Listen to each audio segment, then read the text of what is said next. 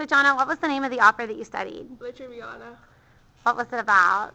Um, it's about like a guy and a girl fall in love, but his dad didn't want them to be together, and then like she died and stuff.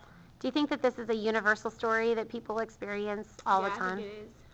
What about it? it is universal? Cause like most people like do fall in love, and then like either like your family don't like each other, or like it's always like a um like rivalry between people and they can't be together.